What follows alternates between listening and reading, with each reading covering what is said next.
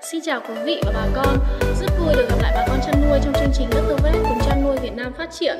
Bà con thân mến, tụ huyết trùng là một trong các bệnh truyền nhiễm thường gặp ở các loài gia cầm, trong đó có chim bồ câu.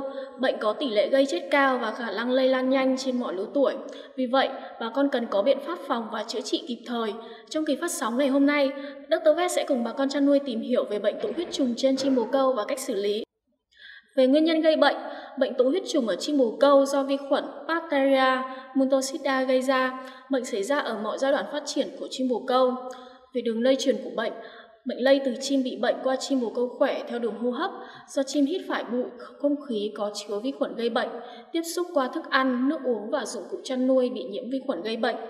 Bệnh bùng phát mạnh vào thời kỳ giao mùa và khi gặp các yếu tố như là thay đổi thời tiết đột ngột, khi vận chuyển, chuyển đàn, ghép đàn, mật độ nuôi quá dày, nên chuồng ẩm ướt, bụi bẩn, không đảm bảo sự thông thoáng của chuồng nuôi. Về triệu chứng của bệnh, bệnh tồn tại ở ba thể là thể quá cấp tính, thể cấp tính và thể mãn tính, nhưng xuất hiện phổ biến nhất là ở thể cấp tính.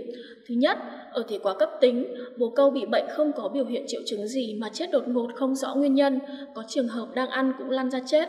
Thứ hai, ở thể cấp tính, biểu hiện tụ huyết trùng ở thể cấp tính là bồ câu bị sốt cao, có thể lên đến 42 đến 43 độ C, chim mệt mỏi, ủ rũ, bỏ ăn, uống nhiều nước, lông xù lên và đi lại chậm chạp. Quan sát thấy miệng có nhớt màu đục, thở khò khe.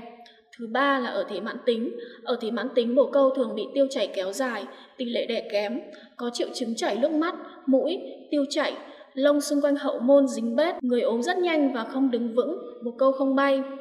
Về bệnh tích mổ khám khi chim bồ câu bị bệnh. Khi mổ khám chim bồ câu bị bệnh tụ huyết trùng, bà con sẽ thấy cơ thể chim bồ câu chuyển sang màu tím tái, thì chim nhão và dưới da có dịch nhớt, phổi bị tụ máu và viêm, phế quản có chứa dịch nhầy, gan bị sưng, bề mặt có các nốt hoại tử màu trắng hoặc vàng, liên mạc ruột bị chảy máu, tụ máu hoặc viêm. Về cách phòng bệnh, để phòng bệnh cho chim bồ câu, hiệu quả thì bà con cần vệ sinh chuồng trại bằng các loại thuốc sát trùng có thể dùng được khi có mặt vật nuôi ở trong chuồng như Ionida còng của công ty VB Ma hoặc Deson Super của Interchemi Hà Lan để tiêu diệt các vi khuẩn gây bệnh cho chim bồ câu. Bà con nuôi chim với mật độ vừa phải, cần lưu ý đến khí hậu chuồng nuôi, trong đó yếu tố thông thoáng và mát mẻ là hai yếu tố quan trọng. Cho bồ câu uống Electronic VKS của Interchemi Hà Lan hoặc VitaHeart của công ty Sao Mai để cung cấp đầy đủ các loại vitamin và các chất điện giải nhằm tăng sức đề kháng của đàn chim bồ câu. Bà con sử dụng kháng sinh hoặc vaccine để phòng bệnh cho chim bồ câu. Bà con có thể dùng kháng sinh Flumethazone 200 VKS của Interchemi Hà Lan hoặc Amoxin 100 VKS của công ty VB Pharma trộn vào thức ăn hoặc pha nước uống để phòng bệnh cho chim bồ câu. Về cách trị bệnh, khi chim bồ câu bị bệnh, bà con tiến hành điều trị cho bồ câu theo phác đồ sau. Phác đồ thứ nhất, sử dụng kháng sinh Amoxin 500 WS kết hợp với Paramol 200 WS của công ty và Pharma để hạ sốt cho bồ câu nếu bồ câu bị sốt, cùng với GCKC để cầm máu, tăng sức, chống nóng và men Victoriatic của công ty Sao Mai để bổ sung men tiêu hóa vi sinh sống rất tốt cho đường ruột của chim bồ câu. Phác đồ 2, bà con sử dụng kháng sinh trị bệnh Froco 30 Oren kết hợp với paramon 200 WS của công ty VB Pharma để hạ sốt, cắt cơn sốt cho chim bồ câu, kết hợp với sản phẩm Antichet KC của công ty Sao Mai để cầm máu, tăng sức và men Bromuti WS của công ty VB Pharma giúp bồ câu tăng sức, lớn nhanh, giảm rối loạn tiêu hóa và giảm mùi hôi chuồng trại.